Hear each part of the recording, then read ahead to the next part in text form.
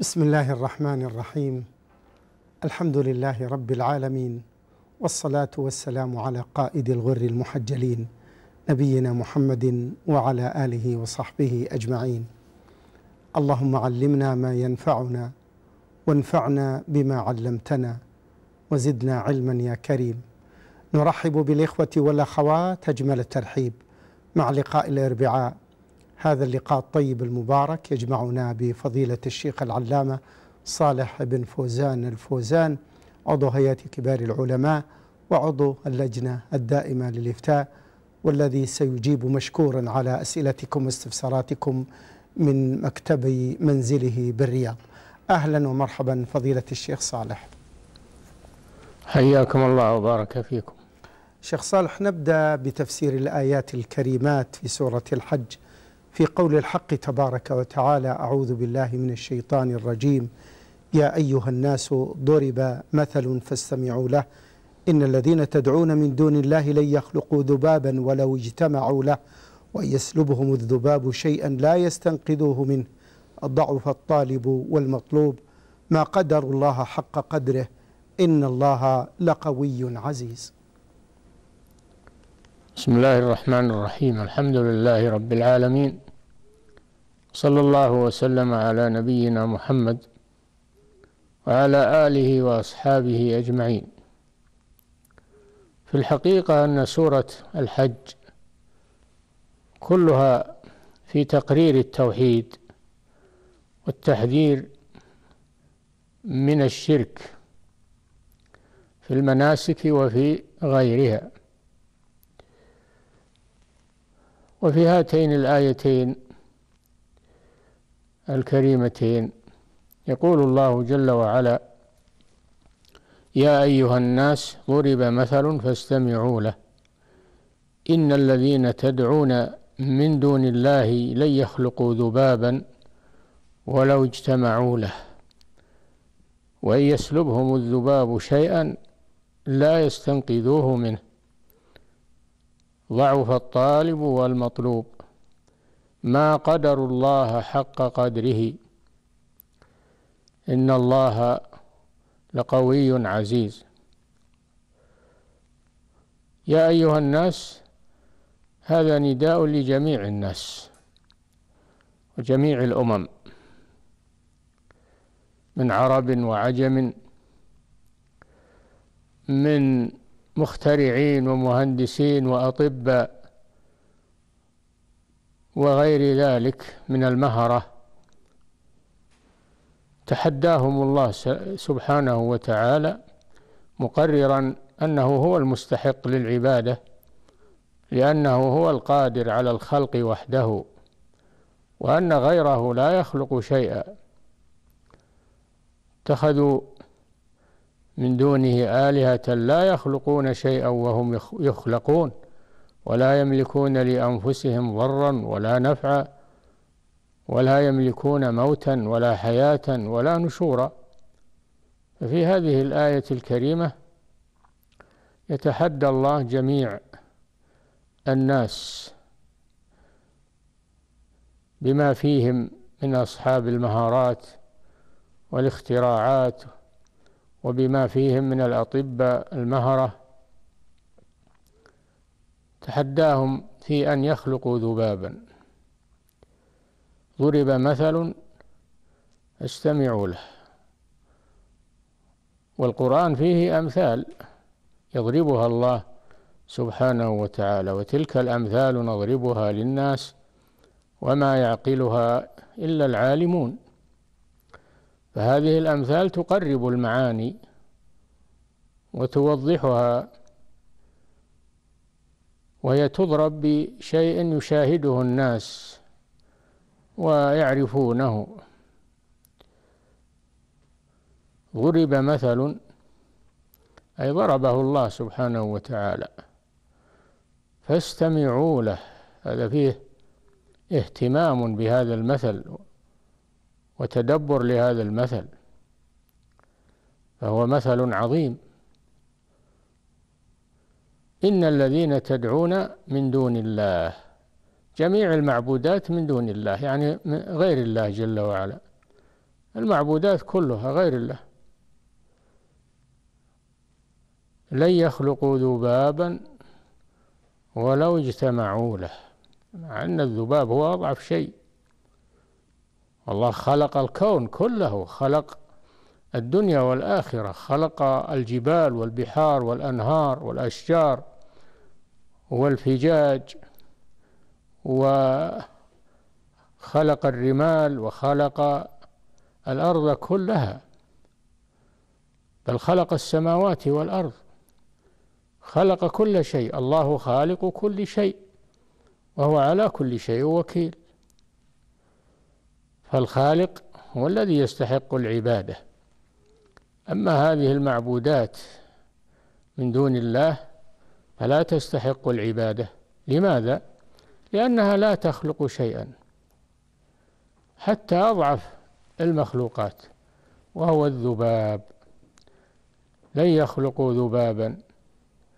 هم قد يقدرون على تصوير الذباب بدقة فإذا نظرت إليه كأنه ذباب حقيقي يقدرون على التصوير لكن لا يقدرون على أن يوجدوا في هذه الصورة ما في الذباب الحي من الحياة ومن الطيران ومن الأمور التي تشاهد في هذا الذباب.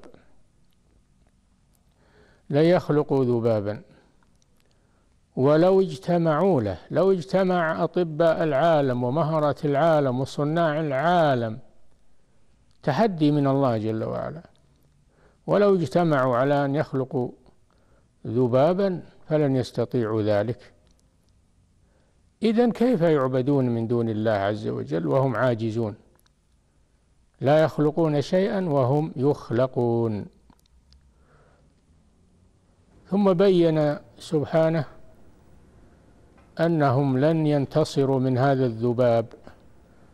لو أنه أخذ وسلب شيئا منهم أو هذه الأصنام التي يوضع عليها الطيب ويوضع عليها الأشياء اللافتة للأنظار. لو أن هذا الذباب أخذ مما على هذه الأصنام شيئا هل تقدر هذه الأصنام أن أن تسترد هذا الشيء من الذباب؟ لا تقدر على ذلك. أبدا. إذا كيف تعبد وهي ضعيفة؟ لا تقدر أن تتغلب على الذباب. كيف تعبد من دون الله القادر على كل شيء سبحانه وتعالى؟ وإن يسلبهم الذباب شيئا هذه نكرة يعم أي شيء ولو قل. أو كثر لن يستطيعوا أن يستنقذوا ما سلبه منهم وأن يستردوه. فكل الأصنام التي يعبدونها لو اجتمعت على أن تنتصر من الذباب ما استطاعت. ولا تدفع عن نفسها لا تدفع الذباب وتحمي ما عليها مما يأخذه الذباب. فكيف تعبد من دون الله وهي عاجزة؟ لا تقدر على الانتصار على الذباب. لا تقدر على استرداد ما أخذه الذباب من مخ من اختصاصاتها. ولو اجتمعوا له وإن يسلبهم الذباب شيئا لا يستنقذوه منه. ثم قال ضعف الطالب وهو الصنم وضعف المطلوب وهو الذباب. فضعيف لا يستطيع أن ينتصر على ضعيف. ضعف الطالب والمطلوب. ثم بين أن من أشرك بالله في هذه الأصنام وهذه المعبودات أنه يجهل قدر الله جل وعلا الذي لا يعجزه شيء القادر على كل شيء الذي يستحق العبادة وحده لا شريك له. ما قدروا الله حق قدره فالمشركون ما عظموا الله حق تعظيمه. ولا عرفوا عظمته وجلاله وقدرته سبحانه ولذلك أشركوا به وعبدوا معه غيره وسووا غيره به سبحانه وتعالى. فهم ما قدروا الله حق قدره الذي حملهم على الشرك وعلى عبادة هذه المخلوقات أنهم ما عرفوا عظمة الله جل وعلا. ولا عرفوا قدرته ولا عرفوا عزته سبحانه وتعالى. الذي يقول للشيء كن فيكون يكون في الحال لا يتخلف. إذا أمر الله جل وعلا يقول له كن فيكون.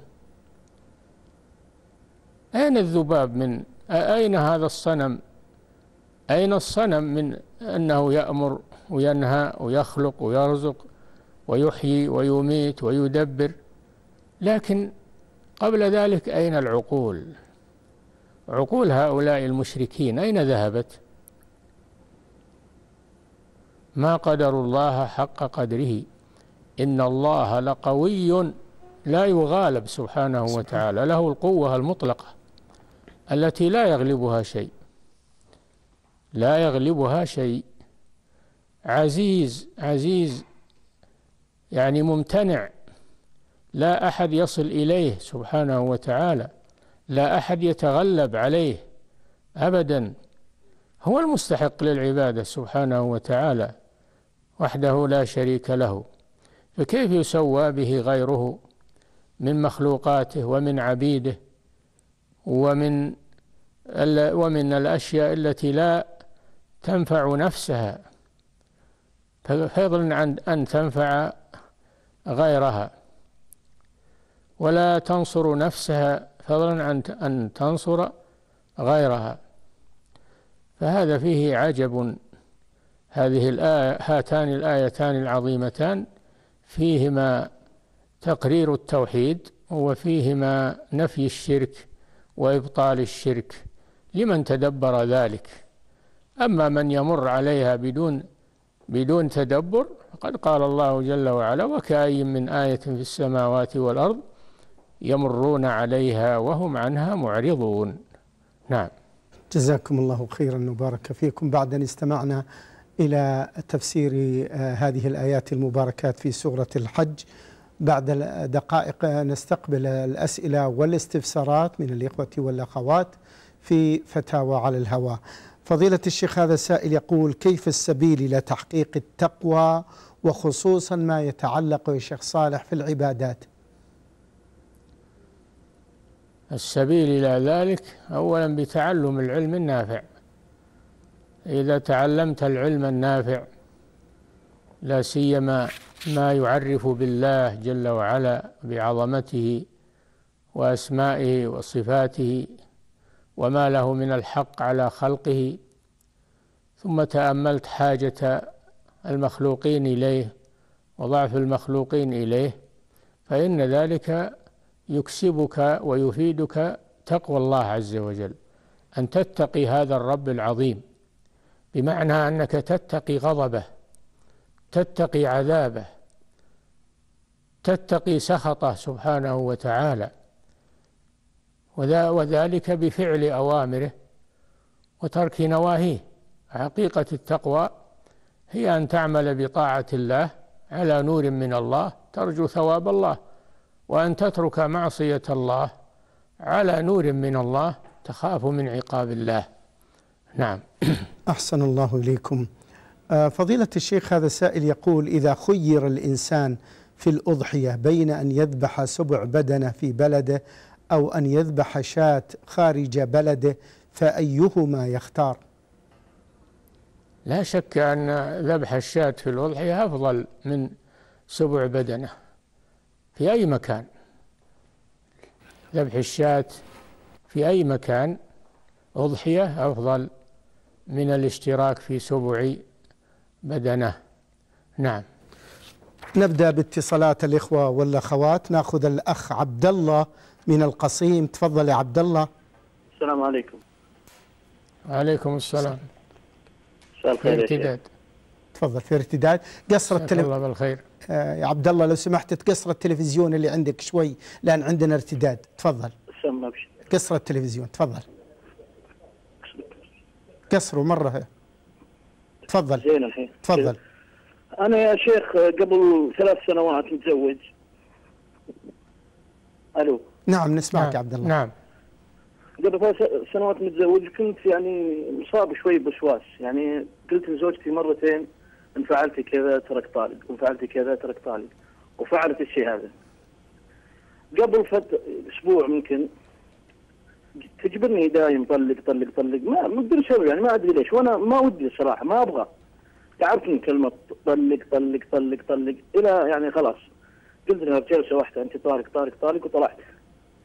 سألت كذا شيخ قال لي ما ندري ما أدري أنا وش الحكم الحين. طيب والله يا أخي الطلاق الطلاق روح للمحكمة الشرعية القريبة منك؟ رحت أنا المحكمة قال لي لا. روح للإفتاء. طيب خلاص اسمع الشيخ اسمع الشيخ. تعال للإفتاء تعال للإفتاء في الرياض. لازم من حضورك إما في المحكمة وإما عند الإفتاء في الرياض. الإفتاء طيب نعم. الرياض متى فاتح؟ شلون طريقة تجي و... يا الإفتاء ما- مفتوح. ما ما حصلت شيء. طيب. ما يكت... ما يجيبونك على الرقم يا أخي لازم تحضر تفضل. شخصيا. طيب شكرا لك عبد الله. آه، فضيلة الشيخ يقول آه، إذا أثنى آه، الإمام في الصلاة في دعاء القنوت على الله تبارك وتعالى فما المشروع للمأموم أن يقوله مأجورين؟ أن أن يثني على الله عز وجل ويتابع الإمام. يثني عليه ويتابع الإمام في الثناء على الله عز وجل. نعم. جزاكم الله خيرا. فضيلة الشيخ هذا السائل أرسل بسؤال يقول ما, كت ما أفضل كتب آه، الأحاديث آه، المفيدة الذي يقرأ بها المسلم أو إمام المسجد على جماعته؟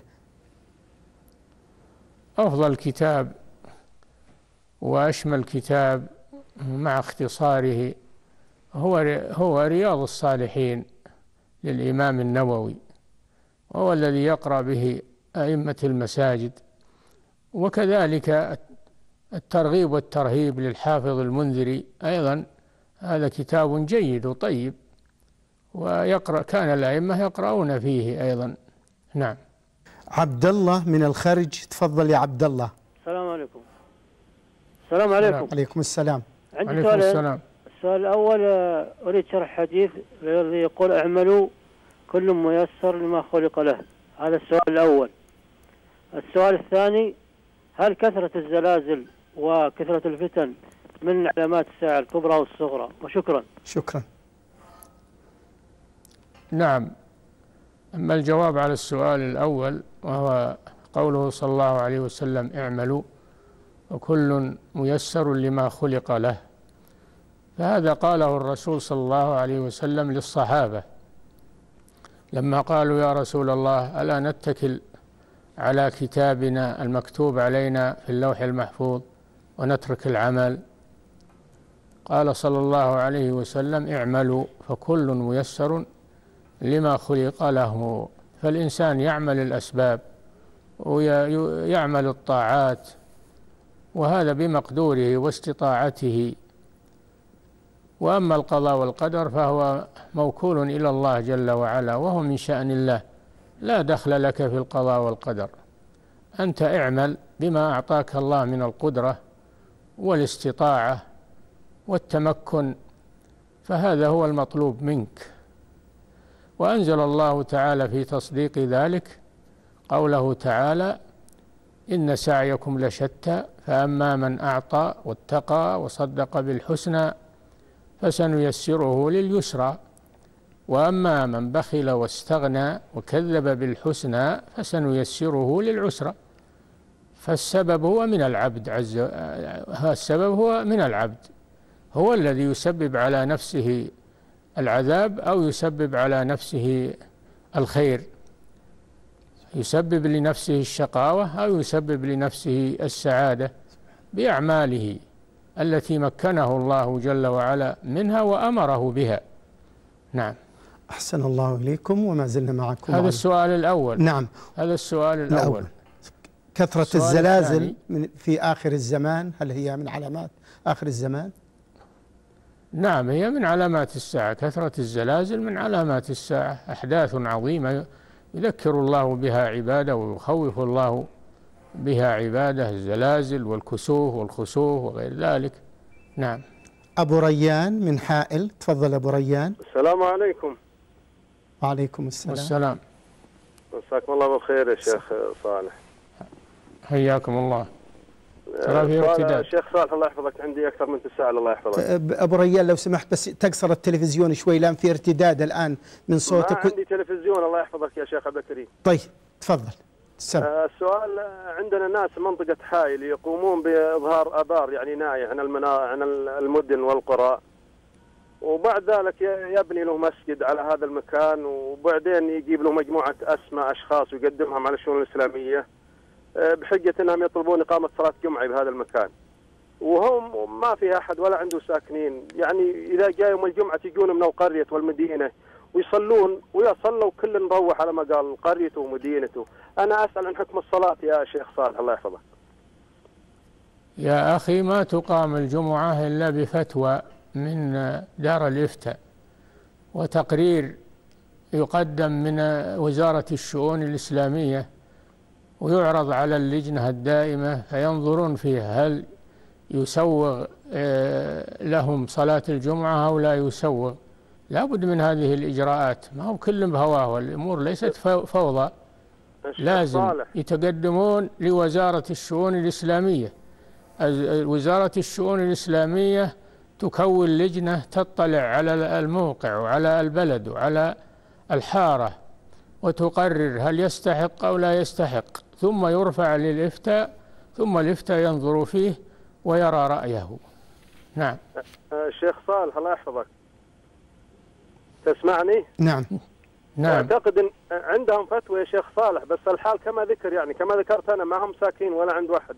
الشخص هذا صاحب المال يعني يعني مع الاسف إنهم يجاملون من من قبل الشؤون الإسلامية. إذا إذا كان إذا كان عندك فت إذا كان عندك يعني ملاحظة عليهم تقدم ال- الفرع الفرع وزارة الشؤون الإسلامية في حائل وشؤون المساجد وهم ينظرون في هذا ويستدركون إذا كان فيه ملاحظة. نعم. طيب.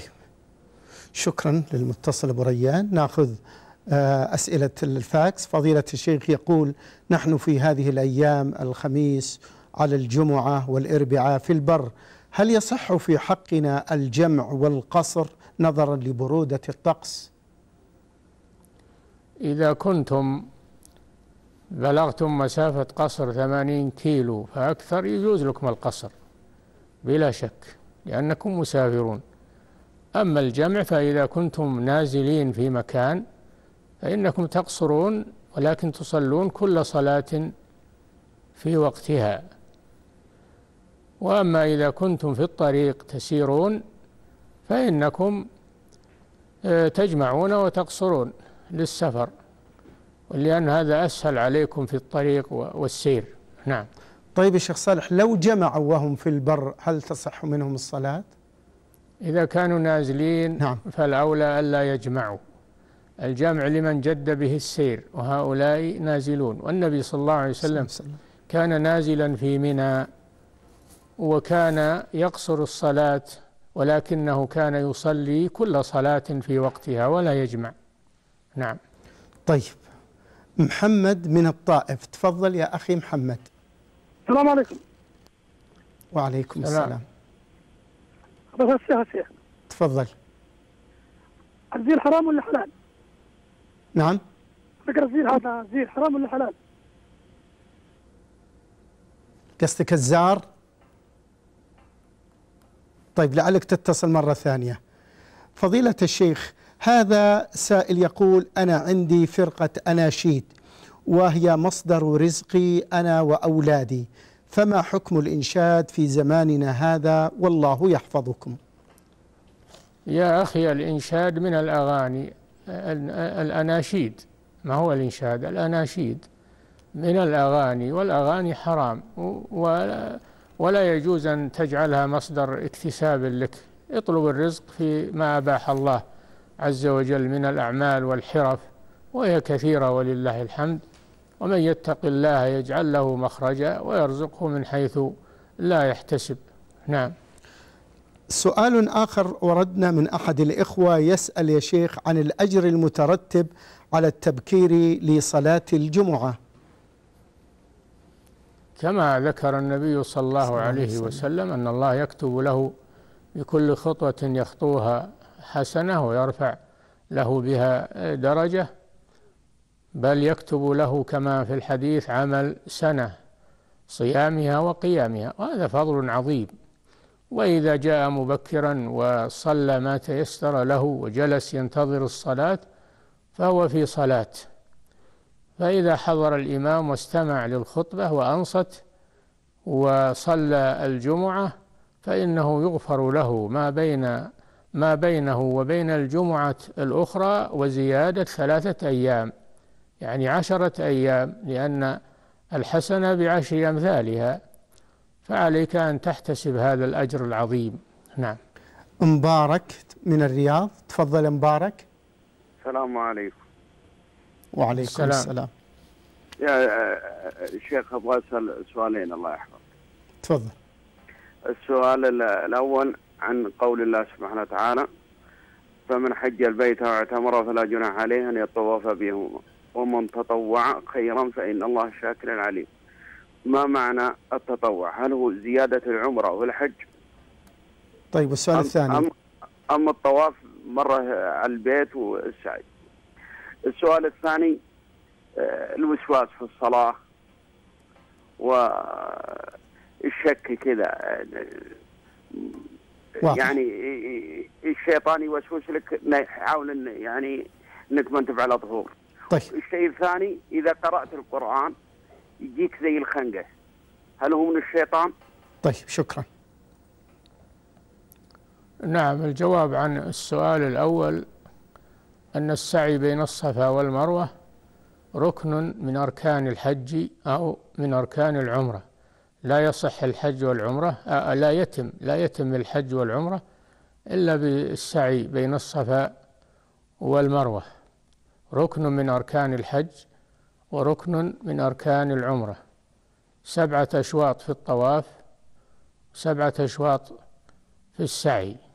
وكل عمرة لها طواف وسعي كل عمرة لها طواف ولها سعي بين الصفا والمروة. وكل ما أكثرت من العمرة في أيام آه، متباعدة قليلا فهو أفضل. تابعوا بين الحج والعمرة كما في الحديث. تابعوا بين الحج والعمرة فإنهما ينفيان الفقر والذنوب كما ينفي الكير خبث الحديد والذهب والفضة. نعم. الوس... وأما الوسواس وأما الوسواس يا أخي فاترك الوسواس. واستعذ بالله من الشيطان الرجيم. إذا أحسست بشيء فاستعذ بالله من الشيطان الرجيم. وارفض الوسواس ولا تلتفت إليه ولا يهمك وسيذهب عنك بإذن الله عز وجل. نعم. فضيلة الشيخ آه هذا السائل يقول آه طالب العلم متى يلقي الدروس؟ وما ضابط العلم الشرعي مأجورين يا أخي يلقي الدروس حسب ما يتيسر له. إن كان دراسة نظامية يلقيها حسب الجدول وإن كانت دراسة غير نظامية في المسجد مثلا فعلى حسب ما يتيسر له ويتسنى له أن يلقي الدروس. ولكن لا يلقي الدروس إلا من هو عالم. ما يلقيها متعالم أو يلقيها مبتدي. ما يلقي الدروس على الناس خصوصا في المسجد إلا عالم متمرس في العلم يعرف كيف يلقي الدروس ويشرح ويفسر الآيات ويشرح الأحاديث ويتكلم على كلام ويشرح كلام الفقهاء. هذا يحتاج إلى قدرة علمية. نعم. أحسن الله عليكم. محمد من بيشة. تفضل يا محمد. السلام عليكم ورحمة الله وبركاته.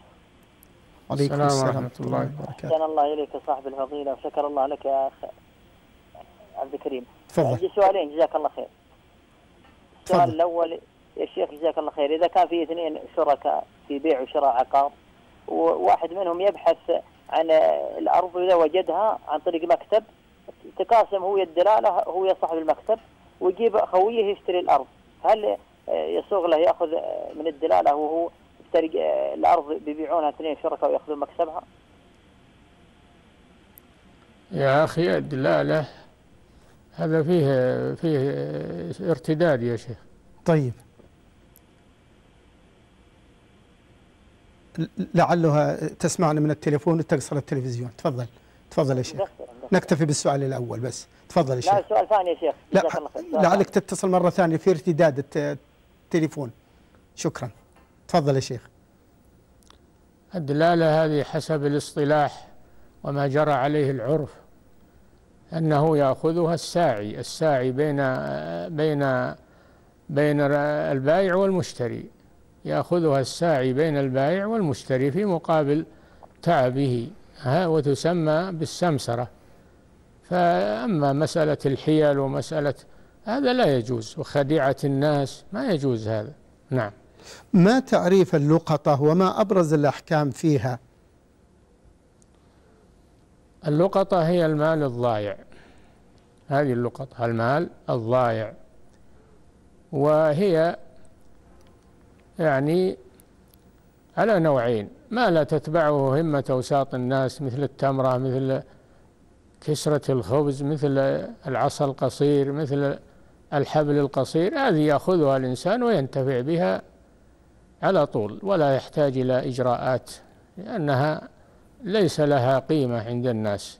أما إذا كان لها قيمة عند الناس مثل الدراهم مثل الثياب مثل فهذه لا بد يعرف علاماتها يعرف علامات هذا المال الضائع ويحفظه عنده وينادي عليه مدة سنة كاملة في مجامع الناس عند أبواب المساجد يكتب إعلانات ويلصقها في الحيطان القريبة.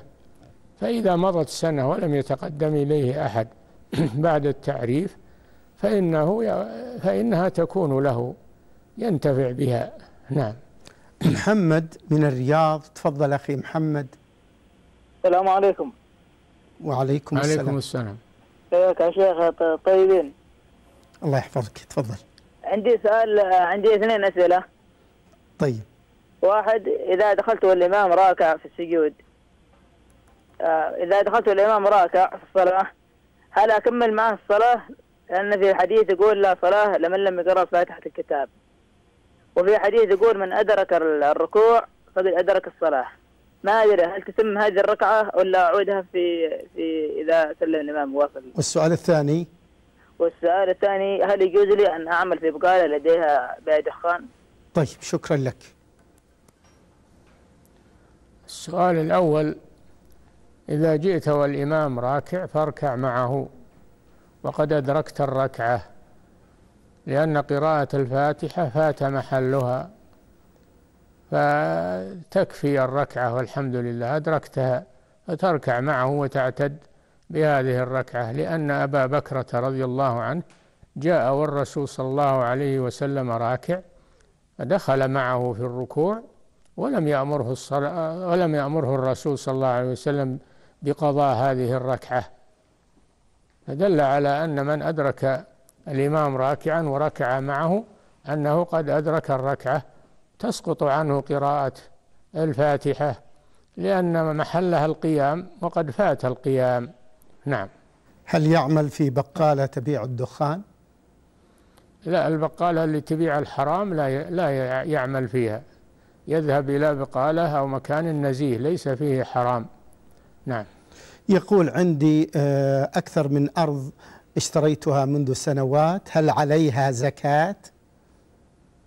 إذا كنت تنويها للبيع فعليها زكاة كل سنة بما تساوي.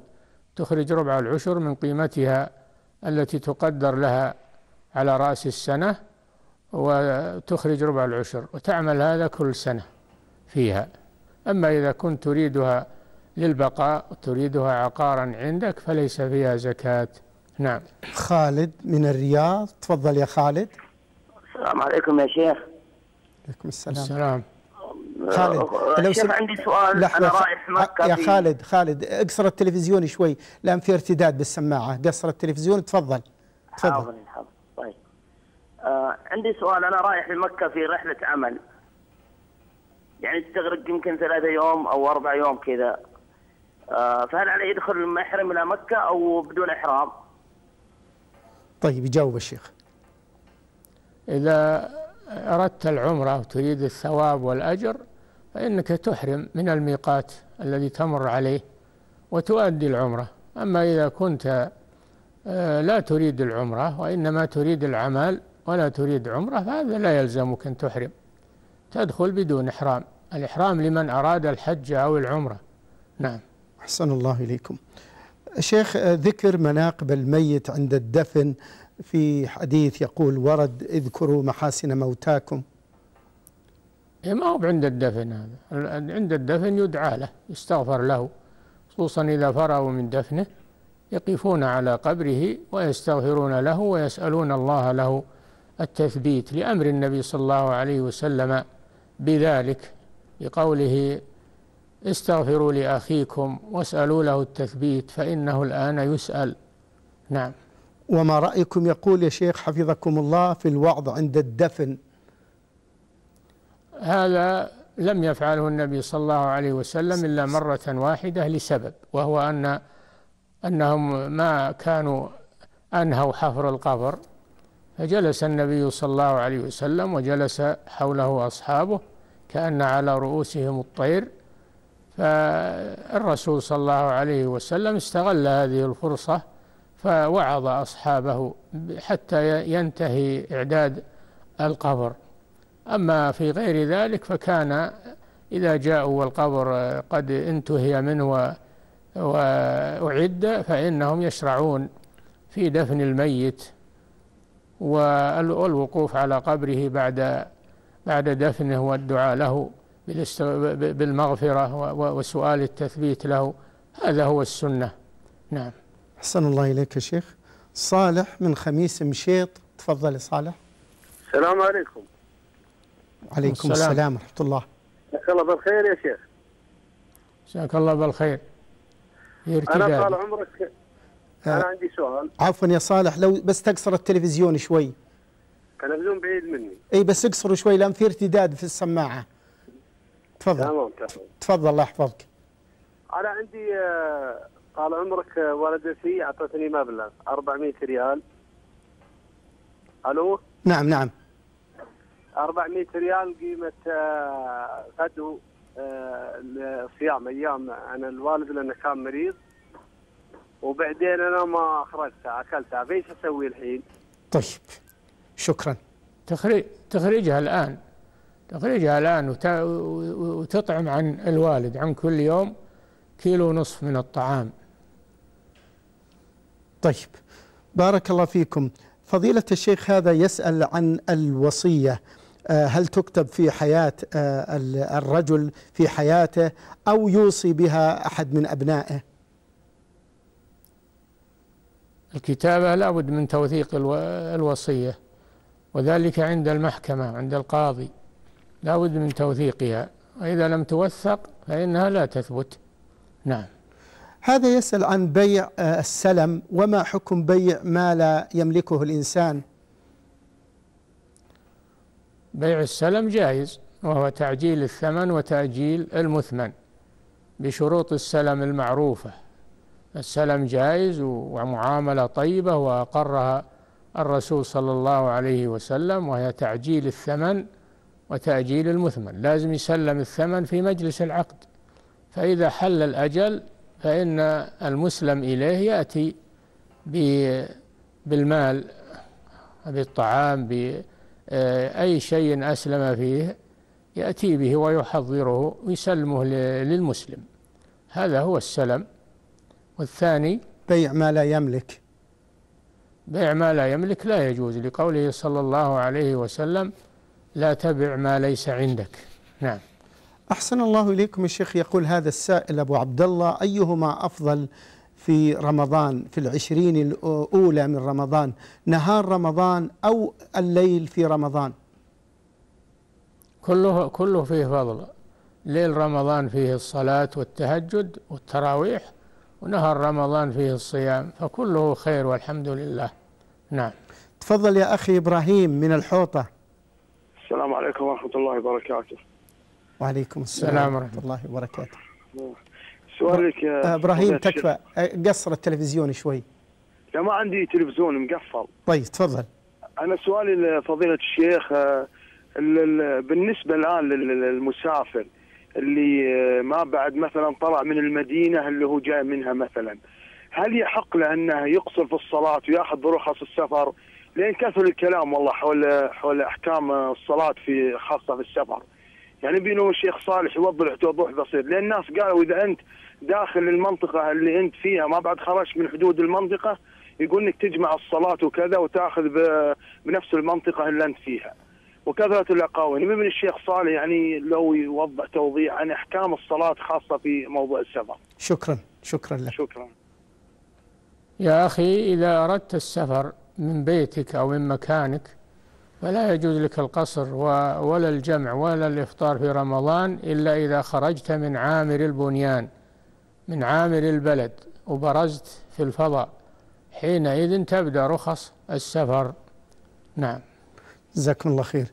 فضيلة الشيخ يقول هذا السائل أقوم والحمد لله بقراءة الأوراد الشرعية الصباحية والمسائية وأنوي مع ذلك حفظ أولادي فهل يكفي ذلك في حفظهم بإذنه تعالى أو لا بد من الجلوس معهم والقراءة عليهم مباشرة؟ لا ما هو بلازم. تدعو لنفسك ولأولادك.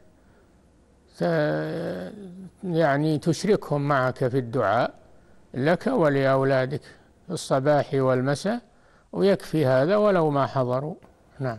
تفضل يا أبو سعد من عرعر. السلام عليكم. وعليكم. السلام. تفضل. بالله يمكن اسال الشيخ سؤال تفضل. بالله أنا عندي بنات أخوي. ألو. نعم. ألو. عندي بنات أخوي. هل أمي تصح تسلم على أزواجهن؟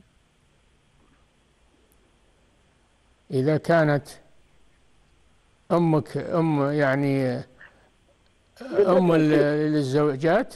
لا لا جدة إذا البنات. كانت جدة البنات؟ مم. نعم هي أم لهن. الجدة أم فلها أن تسلم على أزواج حفيداتها في ارتداد يا شيخ.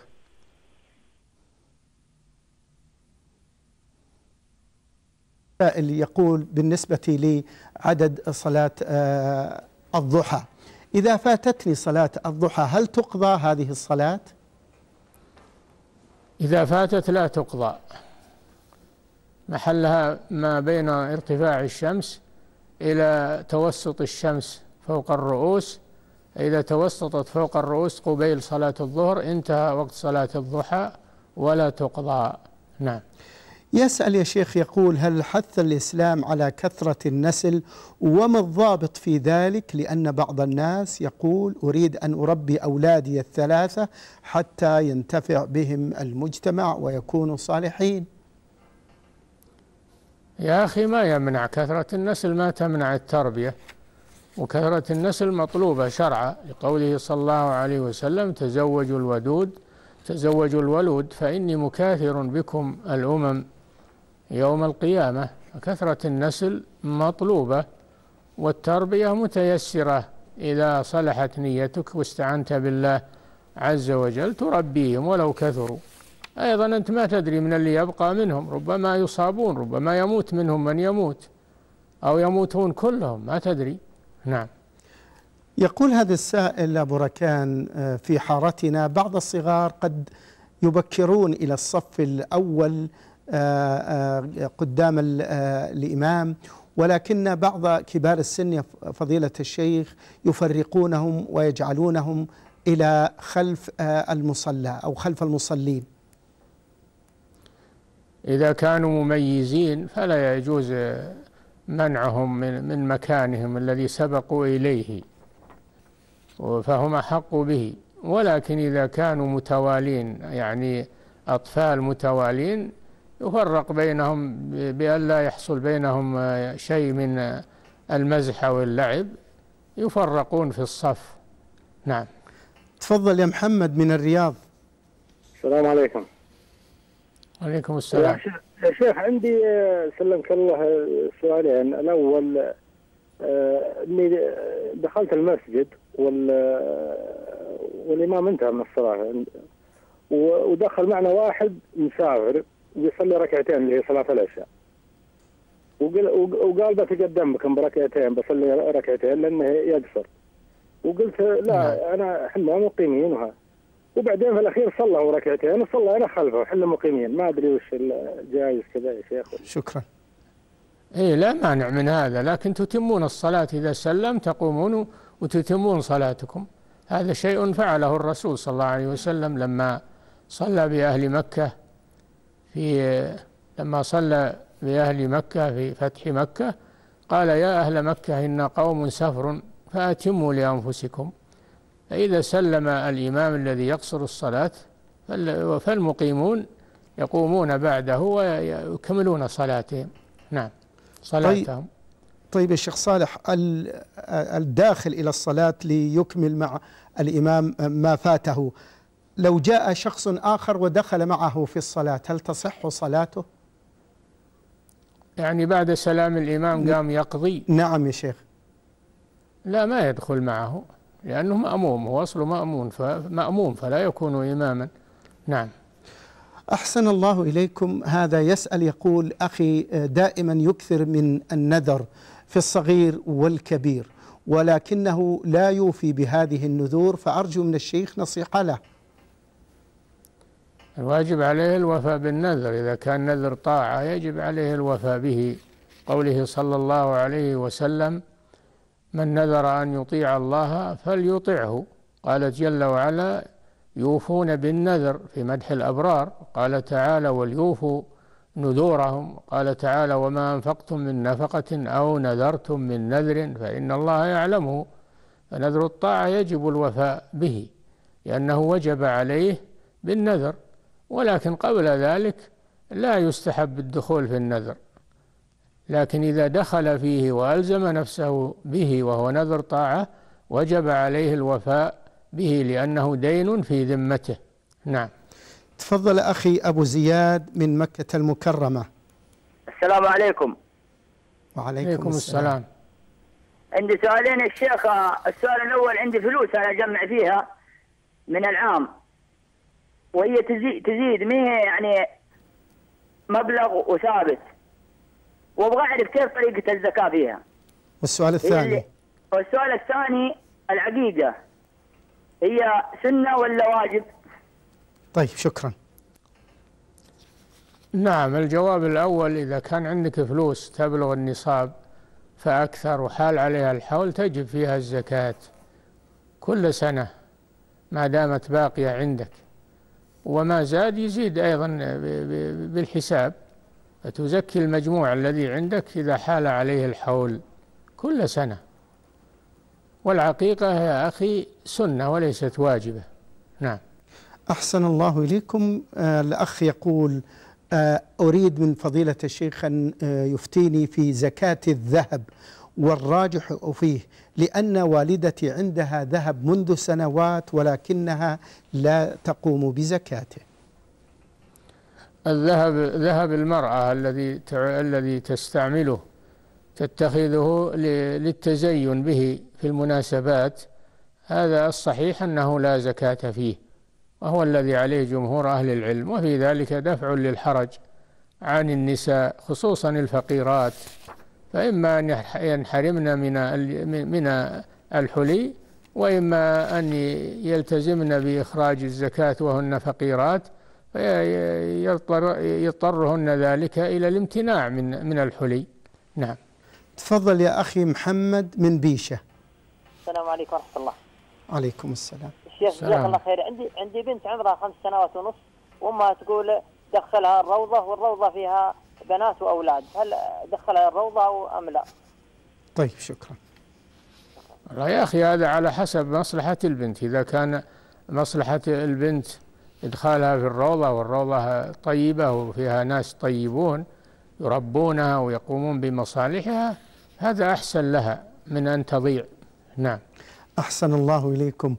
آه، فضيلة الشيخ يقول آه، أفتاني شخص في حارتنا وتبين لي بأن هذه الف- الفتوى آه، غير صحيحة وندمت لأنها تتعلق بالعبادات.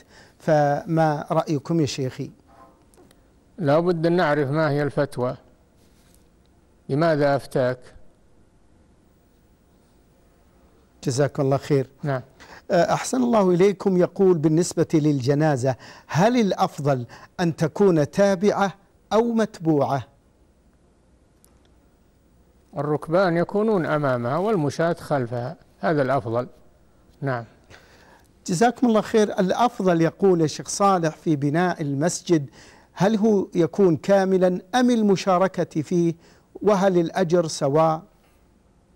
لا شك أن أن بنيان المسجد كاملا على نفقة محسن أنه أفضل من المشاركة. ولكن إذا كان الإنسان ما يقدر على القيام بمؤونة المسجد كلها في العمارة فيشارك فيه على الأقل وله الأجر في ذلك. نعم. محمد من جدة معنا على الخط. تفضل يا محمد. السلام عليكم ورحمة الله وبركاته. عليكم السلام. والسلام ورحمة شيخ صالح الله يحفظك أنا في الوضوء. يعني أني أغسل كل عضو مرتين يعني وأحيانا مرة وأحيانا ثلاث مرات. فهل يعني هذا صحيح. والسؤال الثاني يعني من أذكار المساء والصباح. أنا يوم يأذن الفجر أقوم أبدأ بتسنن سنة الفجر وأبدأ في أذكار الصباح لين الإقامة وبعدين أصلي وأكمل. وكذلك صلاة العصر. إذا أذن العصر سنن وأبدأ الصلاة أذكار المساء وإذا صلوا إقامة الصلاة أصلي وأكمل هل هذا عمل صحيح يعني؟ الله يجزاك خير. شكرا. نعم. السؤال الأول. غسل الأعضاء أكثر من مرة في الوضوء؟ غسل الأعضاء أكثر من مرة هذا أفضل. والاقتصار على مرة مجزي بشرط أن أن يعمم العضو ويسبغ الوضوء. فإذا أسبغه وعمم عليه يكفي مرة واحدة وإذا كان مرتين فهو أفضل وإذا كان ثلاثا فهو أكمل. هذا سنة. والسؤال الثاني أذكار الصباح والمساء متى وقتها؟ من بداية المساء في زوال الشمس يبدأ المساء. بعد الظهر بعد العصر بعد المغرب بعد العشاء كله وقت لأذكار المساء. كذلك الفجر إذا طلع الفجر. هو إذا استيقظت من النوم في آخر الليل لا إذا طلع الفجر وتأكدت من طلوع الفجر تبدأ أذكار الصباح. نعم. شيخ صالح الحقيقة هناك سؤال من خلال آه، سؤال الأخ الكريم عن آه، الوضوء. الشيطان قد يوسوس للإنسان في الوضوء أو في الصلاة. موقف المسلم من هذه الوساوس التي تعتري سواء في الوضوء أو في الصلاة؟ الوساوس يتركها ويستعيذ بالله من الشيطان لأن النبي صلى الله عليه وسلم أخبر أن هناك شيطانا يقال له الولهان يوسوس على المتوضئين ليشغلهم وليشككهم في وضوئهم. فعلى المسلم أن يقول في البداية بسم الله ثم يبدأ بالوضوء ولا يلتفت للوساوس أبدا ولا تهمه ويمضي في وضوئه كما شرع الله سبحانه وتعالى. نعم. أحسن الله إليكم من الأسئلة التي وردتنا يقول الشيخ صالح الفوزان كان عندي محل أدوات مكتبية وقبل حلول الزكاة بثلاثة أشهر بعتها على شخص آخر فمن الذي يدفع الزكاة؟ أنت مالك الأدوات هذه فإذا بعتها تكون الزكاة في ثمنها إذا حال عليه الحول إذا حال عليه الحول فهو وهو عندك تدفع ربع العشر منه. وإذا صرفته قبل تمام الحول فلا شيء فيه. نعم. تفضل يا أبو محمد من الدمام. السلام عليكم. وعليكم السلام, السلام. مساك الله بالخير شيخ صالح.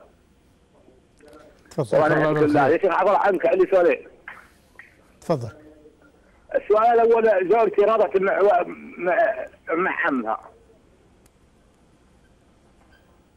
نعم. طيب. والشيء الثاني أنا عندي فلوس للواحد متوفي طيب لحظة لحظة لحظة يا أخي الكريم. زوجتك راضعة مع عمها. نعم. والسؤال؟ وش يصير لعيال عمها؟ طيب يجاوب الشيخ على هذا. إذا رضعت مع عمها الرضاع التام فإنها تكون تكون أختا له من الرضاع. أختا لعمها من الرضاع. طيب. نعم. السؤال الثاني؟ طيب. تفضل. ألو؟ نعم. السؤال الثاني عمك فيه فلوس عند الرجال عندي. طيب. ورجع متوفي الله يرحمه. ما ادري ما أدري وين راح ضاع. طيب. عنده الفلوس؟ نعم. عنده الفلوس فلوس التي عندك الفلوس التي عندك لهذا الرجل تحتفظ بها تحفظها حتى يأتي هو ويأخذها. وإذا تيقنت أنه متوفى تدفعها لورثته نعم. أحسن الله إليكم. آه هذا يقول أنا إمام مسجد وأرجو من فضيلة شيخنا آه الشيخ صالح حفظه الله أن يفتينا في ذلك وهو قضية الضابط آه الشرعي يا فضيلة الشيخ عند آه جمعنا للصلوات في حال المطر الغزير. نعم هذا مباح. تجمعون للمطر الغزير بين المغرب والعشاء لأجل التسهيل على الناس. إذا كان المطر غزير يبل الثياب. أما مجرد الرذاذ الخفيف هذا لا يجوز الجمع من أجله. نعم. ما الدعاء المشروع؟ يقول عند دخولي للمسجد وعند خروجي يا فضيلة الشيخ. تقدم رجلك اليمنى عند الدخول وتقول بسم الله أعوذ بالله العظيم وبوجهه الكريم وسلطانه القديم من الشيطان الرجيم. اللهم اغفر لي ذنوبي وافتح لي أبواب رحمتك. وعند الخروج تقدم رجلك اليسرى وتقول هذا الدعاء إلا أنك تقول وافتح لي أبواب فضلك. نعم. بالنسبة يا فضيلة الشيخ آه، للشخص آه، المرافق للمنوم في المستشفى السائل يقول قريبي نوم في المستشفى وأنا مرافق له. ويقلقني الحقيقة سؤال هو أن أني عندما أذهب إلى المسجد لصلاة الفريضة يأمرني ويبكي ويقول صلي عندي فهل أعذر بالتخلف عن صلاة الجماعة لأنني محافظ على الصلوات في أوقاتها؟ إذا كان يحتاج إليك إلى بقائك عنده تصلي عنده وأنت معذور والحمد لله. إذا كان يحتاج إليك فتبقى عنده وتصلي عنده وأنت معذور. نعم. تفضل يا أخ فهد من بيشة معنا على الخط. السلام عليكم. وعليكم عليكم السلام. السلام. عندي سؤالين الله يوفقك يا شيخ. تفضل. السؤال الأول نعم. الله يحفظك. عندي عقار وأرغب في شرائه وما عندي فلوس يعني كاش. ورحت للبنك وقال البنك بيأخذ هذا العقار يتفاوض مع المالك. ثم يبدأ تقسيطه عليه لمده 20 سنة. هل هذه المعاملة جائزة؟ عند نفسك يرجع مرهون عندهم. طيب السؤال الثاني الثاني إيه آه الله يحفظ بالنسبة للرهبة الاجتماعية أو الرهبة من الخلق هل تدخل في الشرك؟ الله يوفقكم. الخوف من الخلق نعم تفضل نعم يقول عنده عقار السؤال الأول نعم. السؤال الأول إذا كان البنك يبي يشتري ال- ال- العقار له هو ثم إذا قبضه يبيعه عليك بعد قبضه وتملكه فلا بأس بذلك. وإذا كان البنك يريد أن يشتريه لك لا ويسلم الثمن نيابة عنك ويسترده بزيادة فهذا ربا ولا يجوز. ما شرى البنك ليملكه هو إنما ما شرى العقار ليملكه هو. وإنما اشتراه لك ودفع الثمن نيابة عنك أقرضك إياه ويسترده بزيادة. فهذا حرام ولا يجوز. نعم. الخوف المحمود والخوف المذموم ما صفته؟